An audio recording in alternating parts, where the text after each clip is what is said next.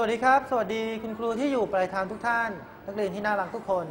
กลับมาพบกันอีกครั้งในวิชาคอมพิวเตอร์กับกลุ่มสาระการเรียนรู้ การงานอาชีพและเทคโนโลยีนะครับ ซึ่งวันนี้นะเราก็จะได้เข้าสู่การใช้งานนะครับ เป็นการใช้งานของโปรแกรมวาดภาพ สร้างสรรค์ผลงาน เป็นศิลปะนะครับ วันนี้คุณครูจะมาฝึกให้นักเรียนนั้นทำการวาดภาพดูนะครับ ในกล่องเครื่องมือวาดภาพจะมีอุปกรณ์หลากหลายนะครับ หลากหลายชิ้นหลากหลายอย่าง แต่ละอย่างนั้นมีขั้นตอน หรือมีวิธีการใช้งานแตกต่างกัน วันนี้นักเรียนจะได้มาเรียนรู้เกี่ยวกับการใช้งานเครื่องไม้เครื่องมือเหล่านั้นนะครับ หลังจากที่นักเรียนได้เรียนเกี่ยวกับเรื่องของการเปิดเครื่องอะขอไปครับเปิดโปรแกรมปิดโปรแกรม ส่วนประกอบต่างๆนักเรียนได้เรียนผ่านไปแล้วเมื่อสัปดาห์ที่แล้ว วันนี้เราจะมาเรียนรู้กันในส่วนของการวาดภาพ สัปดาห์หน้าจะเป็นในส่วนของการระบายสีนะครับ เดี๋ยวเราจะค่อยๆเรียนรู้กันไปตามลำดับตามขั้นตอนนะครับ แต่ก่อนที่จะเข้าสู่บทเรียน คุณครูมีเกมมาฝากนักเรียนเหมือนเคยครับอะเป็นเกมปริศนา ไขปริศนาเลขนั่นเองคุณครูจะมีภาพหนึ่งภาพ จากนั้นให้นักเรียนบอกว่าภาพที่นักเรียนเห็น นั้นมีตัวเลขอะไรซ่อนอยู่ เข้าใจไหมครับ วันนี้คุณครูนำมาฝาก 3 ภาพด้วยกันนะครับสามภาพด้วยกัน เพราะว่าเดี๋ยวเราจะไปฝึกปฏิบัติ เดี๋ยวเวลาจะน้อยนะอะเราไปดูภาพแรกกันเลย คุณครูมีตัวเลือกให้เลือกด้วยนะครับ มีตัวเลือกให้เลือก ถ้านักเรียนดูแล้วมัน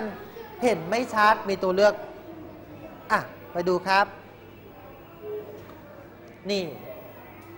นักเรียนเห็นภาพอะไรนักเรียนเห็นเลขอะไรในภาพอะมีตัวเลือก มี 8 กับ 3 ส่วนใหญ่จะบอกว่าเลข 3 จะถูกต้องหรือเปล่า เดี๋ยวเราไปดูกัน ข้อนี้ตอบว่าเลข 3 นั่นเอง ยอดเยี่ยมมาก เห็นไหมครับ เป็นเลข 3 สีอะไรเอ่ย เหมือนกับเป็นสี สีแดง สีชมพู ใช่ไหมครับ อะ ต่อไปครับ เลข 2 หลัก เป็นเลข 2 หลัก อะ นี่เลขอะไรเอ่ย มีไม่ยังไม่ต้องรีบตอบ มีตัวเลือก นี่ 16 หรือ 26 ดูให้ดี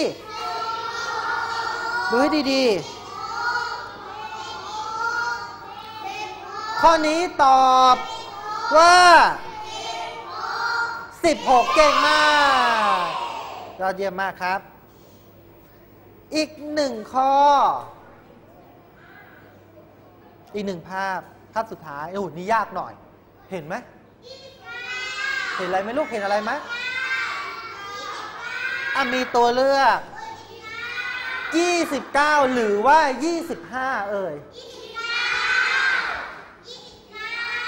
อะข้อนี้ตอบว่า